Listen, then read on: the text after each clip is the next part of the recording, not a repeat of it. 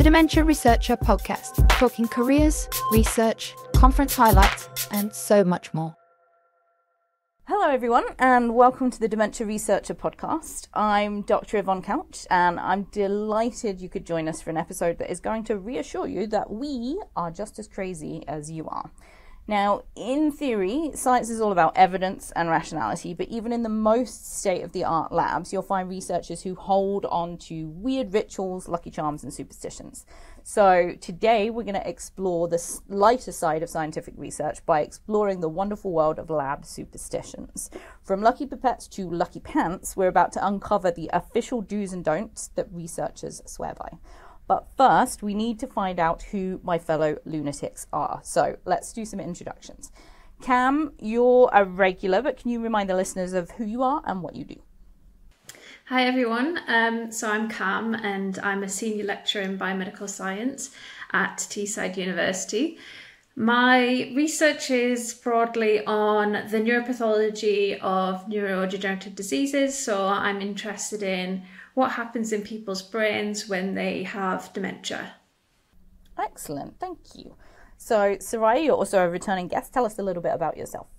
Hello, yes, so I'm Soraya. I'm based at the University of Edinburgh and I'm a postdoctoral research fellow with Dr. Claire Durrant. And at the moment, I'm interested in looking at human organotypic slice cultures and assessing functional changes in that and how we can model dementia in those slices.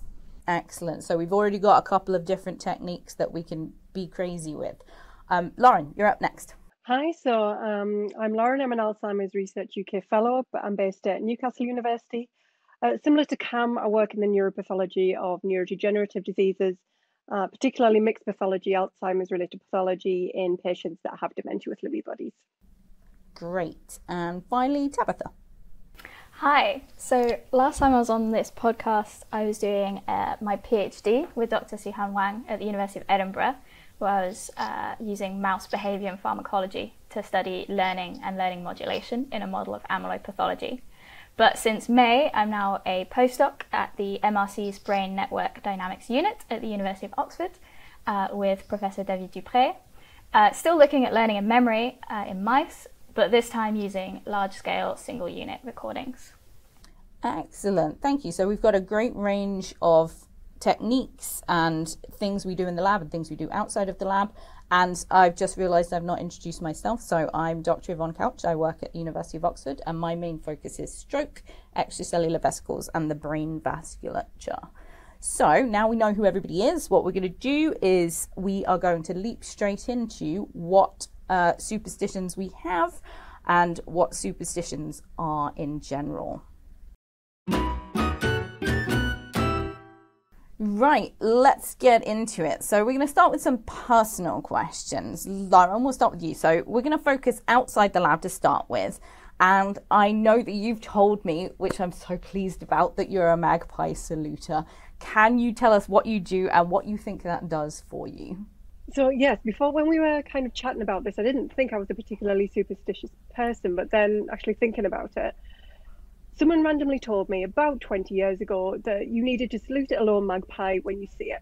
And for the last 20 years, and I have no rhyme or reason as to why this is actually what what what it, what it's helpful for, or nothing's bad. Touch wood, it's never happened. Touch wood.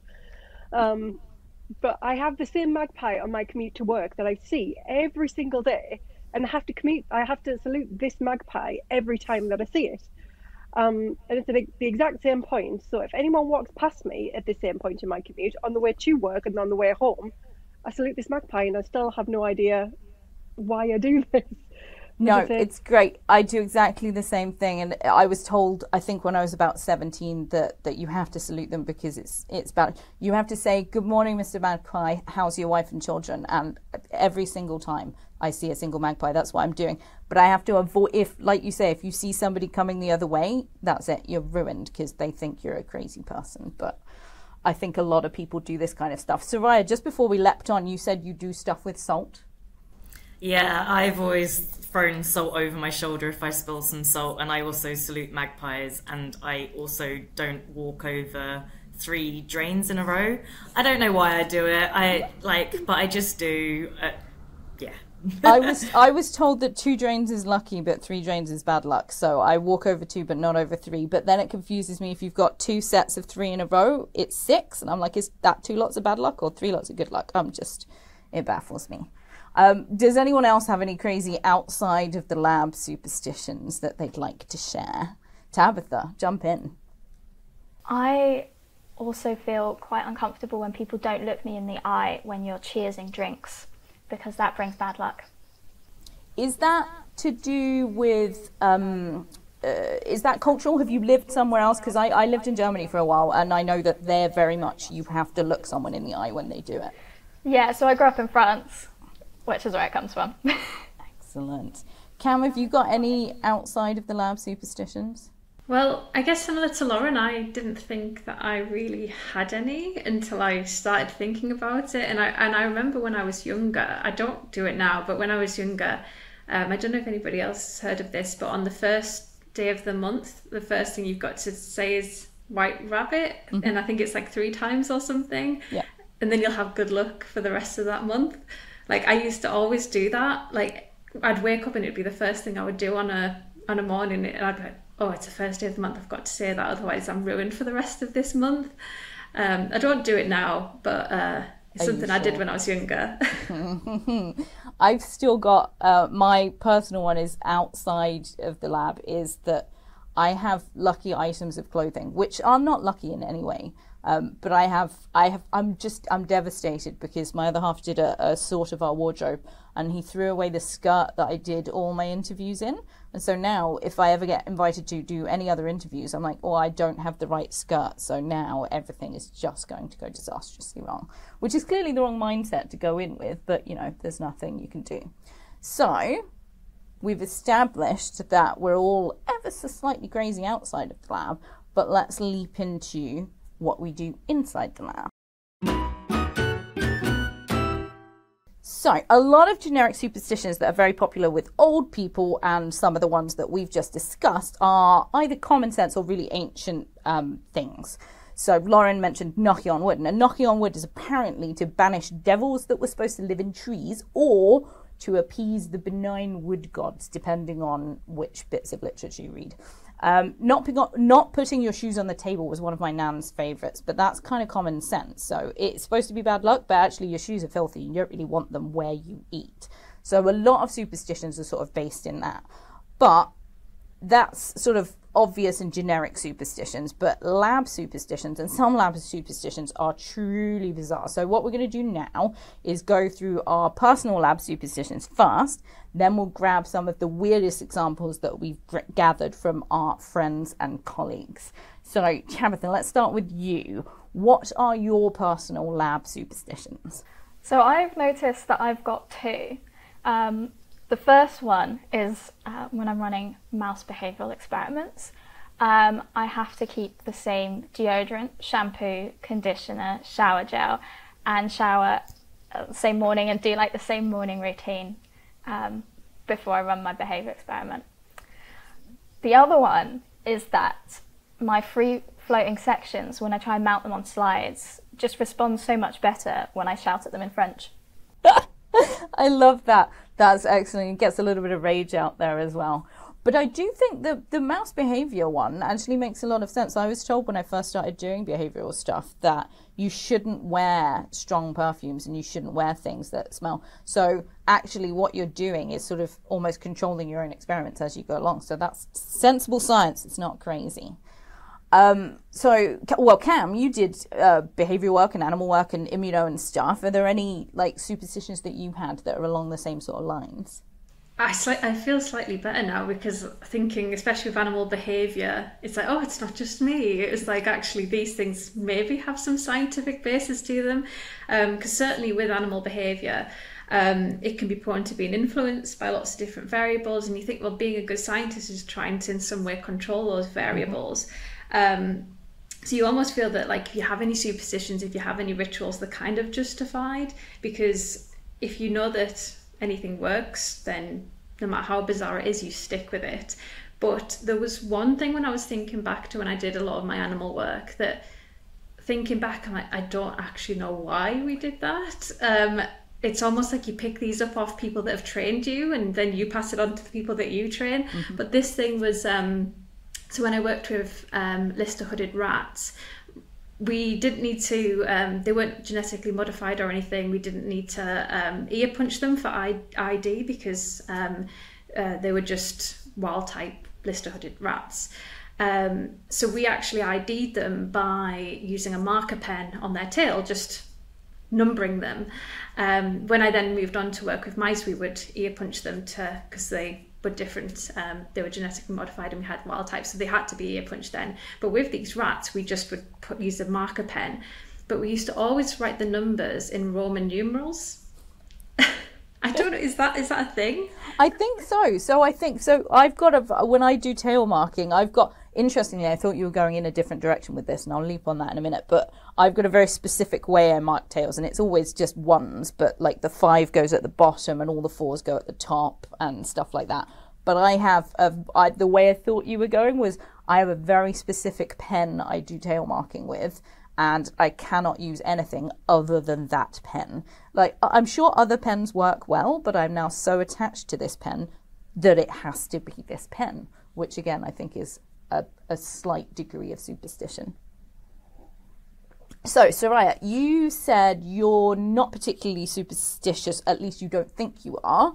But I know that Lauren mentioned to me offline that she has sort of particular ways of taking like pipette tips out of boxes and things, and we'll, you know, quiz her on that in a minute.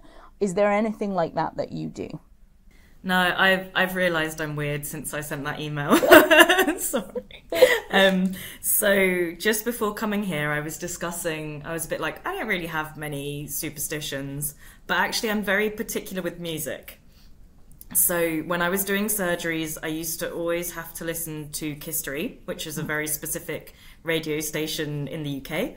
It's kind of 90s, noughties pop. I couldn't listen to anything else, otherwise my surgeries would go terribly. Excellent. And it's the same for, I do electrophysiology, which is kind of a dark art in itself. And actually, for that, I listen to very specific niches of music. If I'm having a bad patching day, I normally listen to Shakira. She mm-hmm. normally puts me in a good mood, and then normally my patching goes a bit better. So yeah, I didn't realize I was that weird, and then I was like, yeah, of course you listen to happy music when you're doing stuff, and everyone was looking at me. So I've now realized I have a few superstitions. I think it often takes somebody else to observe your behavior before you realize that you're doing something odd. Someone's like, why are you doing that? And it usually takes a third person coming into your lab going, yeah, why do you do it like that? And you've not realized that it's very peculiar until somebody else points it out to you. But I leapt into the, the tip discussion. Lauren, tell me what you do with tips and tell me what else you do in the lab that you think is a bit superstitious. Yeah, so the tips, I don't know if anybody else does this, but I always naturally, when I take my tips from my box, I go from front to back and from right to left. And then I don't know if anyone else has seen this online kind of personality quiz. So apparently, the way I do it is militant. And there's other kind of ways like the old-fashioned snake game on the old-fashioned Nokia phones. Apparently, that's that's a pattern you can take it out. And there's another one that's haphazard. But I can't take my pipette tips. Now I've seen this, and I don't know why I do it.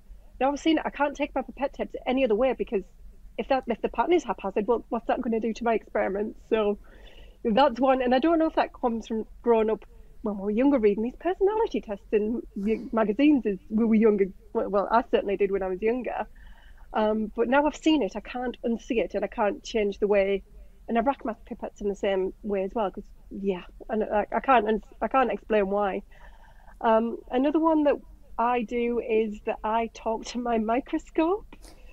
So particularly first thing in the morning, if I know I'm going to have a long day on the microscope, I need to give it a bit of a pep talk, just to kind of calm it down, to say it's going to be fine. We're going to go all day. I can't have you breaking down midway while I'm kind of doing some analysis. So it's going to be fine, and just kind of reassure it before I get started. Is this is this regular microscope or confocal?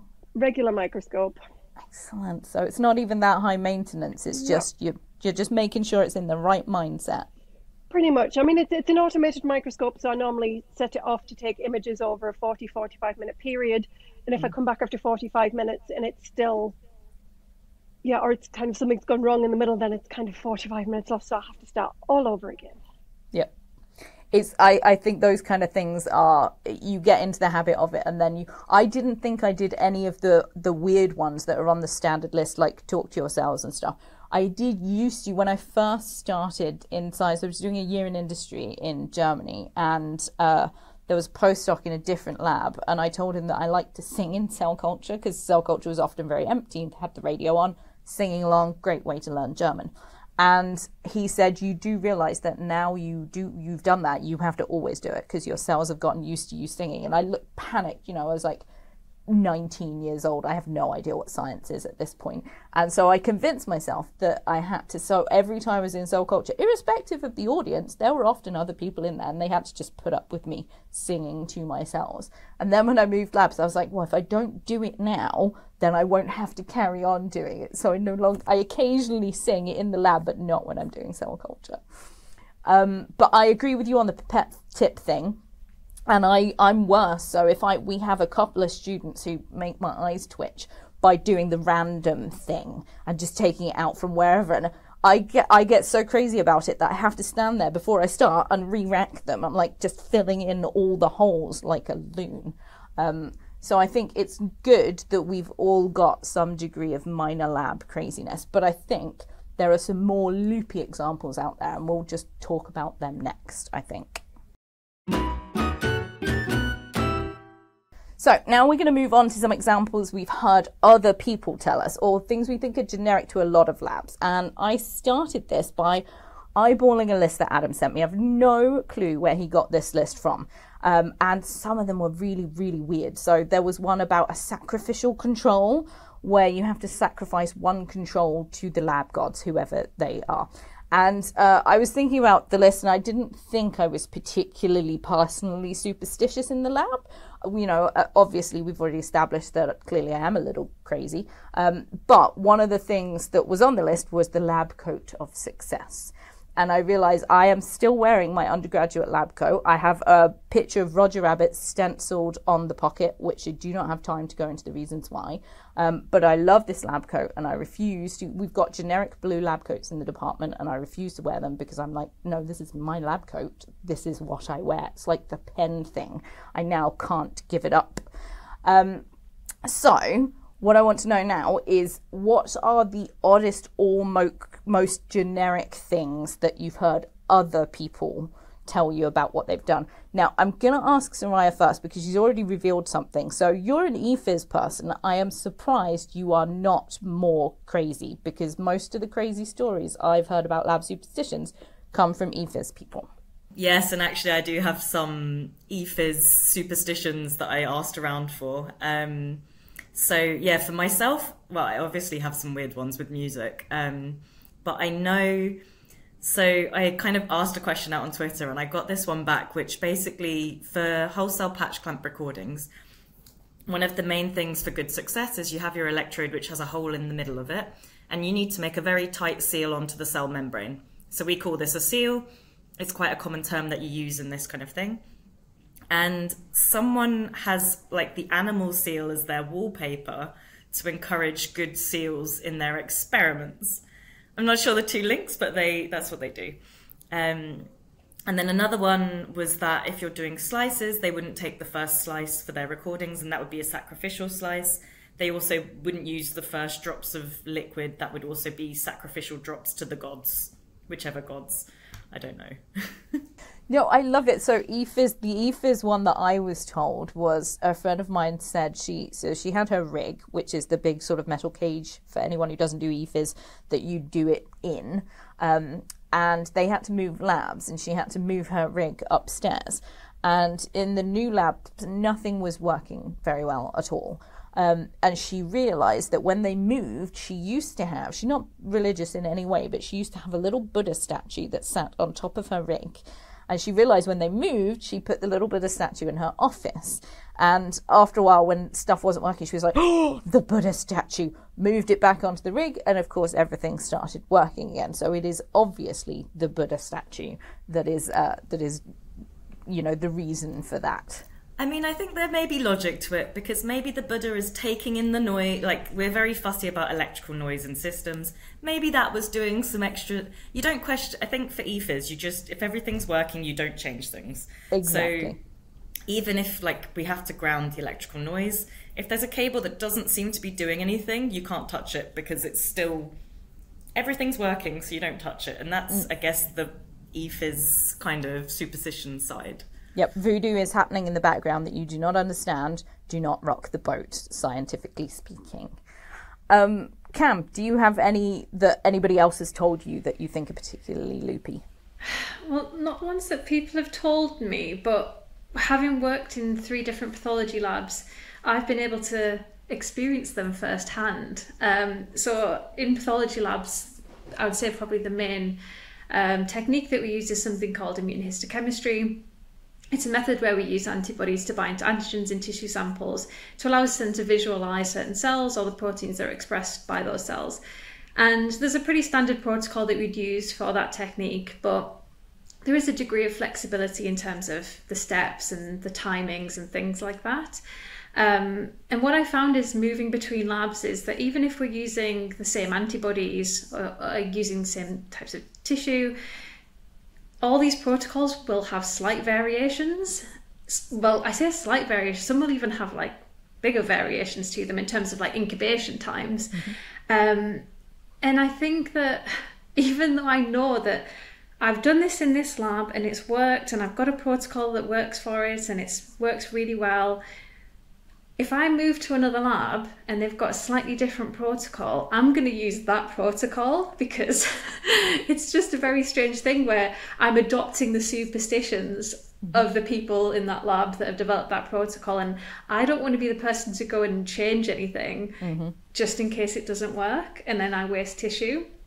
So I, I certainly adopt any superstitions or uh, th- sort of rituals that might happen within that lab because I don't want to be the person to come in and change um, and then it not work. Um, I would say one thing that I did pick up um, in the first pathology lab that I worked in in Sheffield, and I was told from the very beginning that you do not do any lab work on a Friday because it won't work. and that's kind of the one that's just stuck with me all the way. I that you, that. you don't do any lab work on a Friday. It won't work. It's a waste of a day. I've had stuff definitely work on a Friday, so I'm not on board with that one, but I am on board with just taking it easy on a Friday. And I asked a colleague who now lives in Germany um, whether she had any particular lab superstitions. And her version of that was if she had more than two mistakes in a day, like major sort of screw ups, she'd just go home. She's like, the world is trying to tell me something and I should just stop.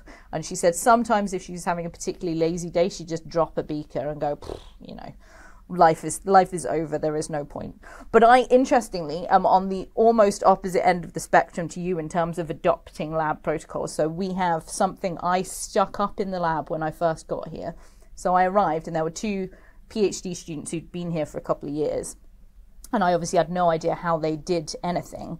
So I spent a good few weeks just tottering around after them, going, "Oh, show me how you do this. Show me how you do this." Bearing in mind I had some experience of my own, and a lot of what they did was peculiar. And so I quizzed them. I said, "Well, why, why, why are you doing it like this?" And the answer was always because that's how Michaelis did it. So uh, after the fourth iteration of because that's how Michaelis did it, I, I was like, no, you cannot give me that answer now. I want a scientific answer. So we have a, a there's a demotivational poster stuck up in the lab that's got a picture of the Spanish bull run on it. And it says tradition in really big letters. And underneath it, it says, just because you've always done it that way does not mean it's not incredibly stupid. Um, so, yeah, I was on the opposite end of the spectrum. I like to shake things up in the lab. Um, Lauren, do you have anything that anyone has told you that you think is particularly peculiar? Uh, well, I asked um, the question to some people in my lab, kind of what they they did, and quite shockingly, and I don't know quite how to take this, uh, one of my lab members turned around and said, "Well, I just sabotage everybody else's experiments because there's a finite finite amount of luck in a day, and I'm going to make sure it's directed to me." I So- really hope that's not true. Yes, I'm sure 99.9% sure he was joking. Um, but yeah, kind of sacrificial control, sacrificial person. Mm-hmm. Um, and it's mainly You're hoping like, he's not. you're hoping he's not sacrificing your experiments. Yeah, well, as I said, touch wood. I've not had a bad run in a while, so I think I'm doing okay. So um, maybe he's picking on someone else. Maybe, yeah.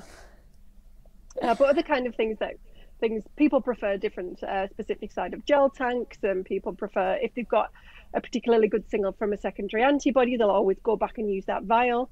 Um, obviously, that might be due with batch control and things like that, but it's come from this, it's come from the same overall vial of antibodies, just being aliquoted out. But mm. I mean, I'll probably do those things as well. Nothing. I don't think I heard anything too out there. I think I'm.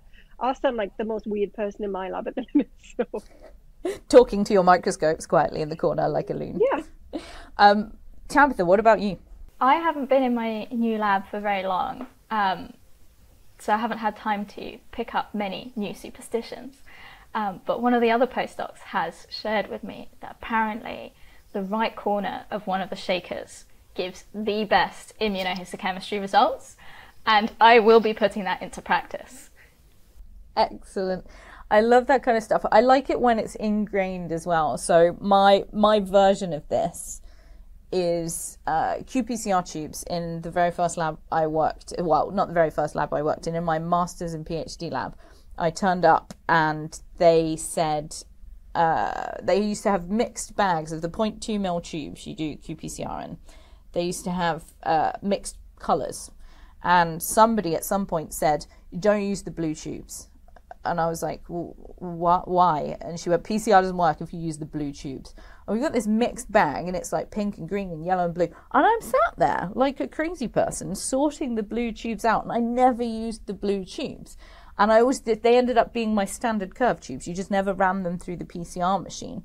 And I think I did this for about two years before I eventually said, why do we not use the blue tubes? This doesn't seem to make any sense. And somebody told me that they thought, no evidence, they thought that the walls of the blue tubes were ever so slightly thicker, and so PCR just didn't work as I'm sure it's just rubbish.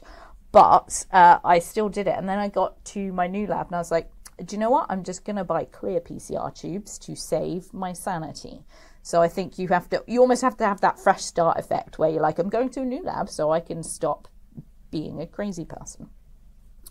Good. So that's our generic lab superstitions and some of the oddest things we've heard people say. So next up, we're going to think about the origins of superstitions and, and where these kind of things might come from. We've had a few hints of where we think these things might start, but I'm wondering on whether whether anyone has any specific ideas on where lab superstitions might start. Kam, do you want to jump in on this one?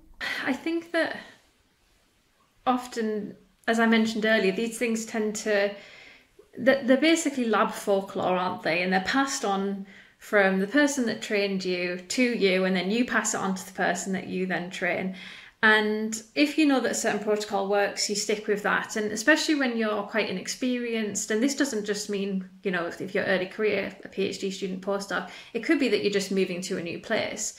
Um, I think that when you're inexperienced, you do hold on to these things and you do think that they're critical. So this could be if you're learning a new technique or a new method, for example. You hold on to these things thinking that they're critical because you might not have necessarily the theoretical background to be able to challenge it. And I think that um, if you then do move to another lab and you are going to take that technique or that method with you, then you might suddenly realize that that critical step that you thought was critical is now no longer so critical. Um, they might have a method or a protocol similar that they're using, and you realize actually they don't have that step in there and it's working perfectly fine. Um, but just in case, sometimes you might think, oh, well, I might just have to keep doing it because I don't want to risk taking it out. Um, that's that's technically me. I'm the one that will go to another lab and adopt the superstitions there. Or if I'm taking something that they don't currently have and I'm taking my stuff, I'll take those superstitions with me. And I mean, sometimes I like to, I try to do what you do, Yvonne, and I try to question why I'm doing that and is that necessary. But I think, especially when you're working with human tissue, you're worried about changing anything in case it doesn't work and then you've wasted that tissue and then you have to then make some more changes to try and get it working again and i think you've got to get that balance of the risk and um, being brave enough to challenge it's true, and I think challenging things, like you say, is very expensive and time consuming. And if you're working with human tissue, is definitely very precious, and mice are very precious, and you don't want to waste you know what could be a decent immuno run or a terrible immuno run by accidentally not you know shaking your rack five times when it's in the DAB or staring dead ahead at the clock which is what i do.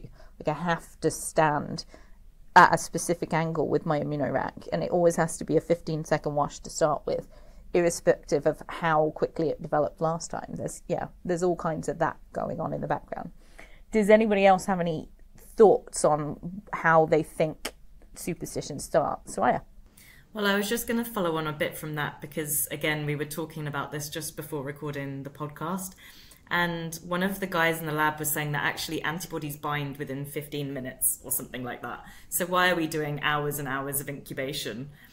Same with like the secondaries, they're so optimized, so they're, you know, they're very fast. They probably are bound within whatever, but we're doing 20 minutes, an hour, three days, whatever. And um, for immunohistochemistry as well, in particular, like we block with normal goat serum or donkey serum or whatever. I think that's kind of a carryover from before in a sense because they used to kind of need to do more wider blocks. Um, whereas in the lab, I've used donkey when I'm meant to use horse or something, and everything's been fine. And I, I mean, that's more kind of scientifically. Um, I think there's things that can kind of have a bit of leeway. Obviously, things you have to do in a certain order that will make things work, but yeah, I just wanted to follow on because when you were speaking about it, I was like, oh yeah, you know, that reminds me of this conversation that I just had. No, it's true. It's true. And I think you don't, yeah, there are protocols I definitely don't mess with. And we had a couple of antibodies, one of which was very firmly you could put it on for a couple of hours at room temperature and it, that your immuno would be great. But everything else was very much overnight at four degrees. And I absolutely have never questioned why there's a difference between those two. And uh, yeah, scientifically, it doesn't make a lot of sense. Maybe I'm just not curious enough. Maybe I'm a terrible scientist. Um, so, as is my want for these kind of things, I did a bit of research on sort of the backgrounds of superstition, and uh, I listened to a great podcast uh, with Professor Richard Wiseman, who describes superstitions. I thought this was such a great phrase as one trial learning. Um, which was great. And Lauren and I have both already said that like we were only told once about the magpie thing, and we've been doing it for years and years and years. And it is one trial learning. Nothing has ever told. We've never had any demonstration. I've never seen a magpie and not done that. But I've also, prior to that, never experienced any particular bad luck when I've seen a single magpie. So this doesn't make any sense. And I had lucky socks for every single exam. And I think about 20% of my exams went really badly, and I was still wearing those socks. So actually, these kind of superstitions don't actually make a lot of sense. So Ian Harrison, who's in, uh, I think he's a he's a Imperial in London. He said that um, when he does Western blots, he has to grab exactly the right amount of tubes from the bag for the number of protein samples that he's running. Otherwise, his Western blot won't work properly. I did say that was a little bit too much like a lottery for me. I just it, that would um, that would distress me too much. Western blots distress me anyway, but that would really distress me. But one of the things I did find out is that the people who research this sort of thing have said that basically um, superstitions and rituals, especially that you go through in the lab, they're not necessarily OCD. So you're not, you know, you're not that level because OCD tends to be you get a lot of mental anguish when you do these things. So you know, listening to specific music or racking your pipette tips up, that's not OCD. But what they do say is that it can reduce anxiety. So by doing a specific thing, if you're doing so for me I do a lot of surgery. Surgery is quite fiddly and lots of things can go wrong. So if I do specific things before I do the surgery and during the surgery, they will make me less anxious as I'm doing it. And I think that kind of stuff is really helpful. And they've also said that by putting in sort of specific ritualistic steps, what can also happen is you can reduce your level of anxiety um, about whatever it is that you're about to do. So, with that in mind, does anyone think that their rituals and superstitions help them, or do you think they they hinder you in any way? Tabitha, do you want to jump in on this one? You already mentioned, obviously, with the mice that they are really sensitive to odors, and there's already so many different things that can impact your outcome of your behavior studies um, that introducing new smells, um, especially as uh, you know there have been experiments that show that they do recognize experimenters and react differently to people handling them. Um, that I think this probably helps remove one variable. Do I maybe take it too far and now think that a specific brand of shower gel makes my mouse recordings work better? Maybe. Um, but it helps prepare me for my day of recording. So I guess that comes into what you're saying about a ritual that helps prepare you. Yep, I think so. I've I've stuck notes up on doors before. So I, I was doing a set of behavioral experiments and someone else in the wing, and I don't know who it was, just had serious amounts of man aftershave on. It wasn't Lynx Africa, it wasn't that bad. They smelled great, but I was like, no, no, no. Just put a big passive aggressive sign on the door saying, doing mouse experiments, could you please tone down whatever it is that you're wearing? Or go work someone else. Go work somewhere else for the next week or so so my mice can breathe in peace. Uh, does anybody else think their superstitions are helpful or do you think they're making you a bit crazy? Kam? I think reflecting on a lot of what we've talked about and the examples that we've given, I feel like a lot of what we've talked about could actually be seen as like good lab practice. Um, for example, like eliminating variables, and maybe this is just me trying to justify all of our little idiosyncrasies, but I think maybe with the ones that have no basis, we have to maybe reflect a little bit more on those ones. But I think, like you said, Yvonne, they're kind of designed to give us confidence in our work, and maybe that then results in the outcomes that we're hoping for in our experiments.